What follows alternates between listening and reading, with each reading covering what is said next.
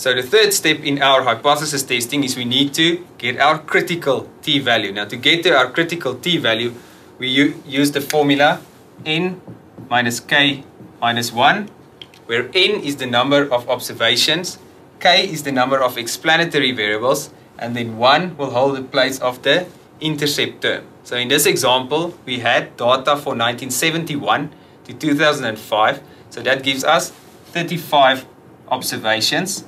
K in this case are four explanatory variables.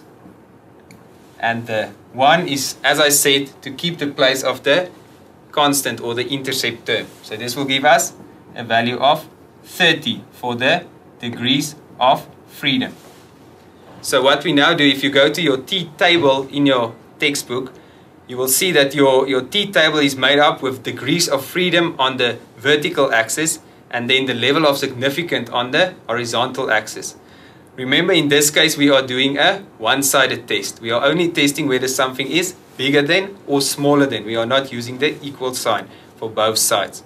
So in this case you take, you look at your table and you use your degrees of freedom and you go down on the vertical axis to 30 and then you go right to the column which says 5% on the one-sided which is the second column there and you will see a value if you look it up of 1.697 so in this case this 1.697 now becomes our critical value against which which all our calculated t values will have to be tested